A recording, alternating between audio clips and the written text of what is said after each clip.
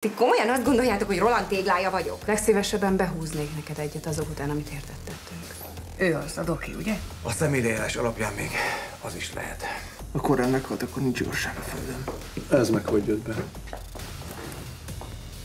Mit akarsz tudni, kedves Mónika? Azt, hogy amikor együtt éltél Rolanddal, tudtad-e, hogy ő irányítja a maffiát? Jóban rosszban. Szerda este a super TV 2-n.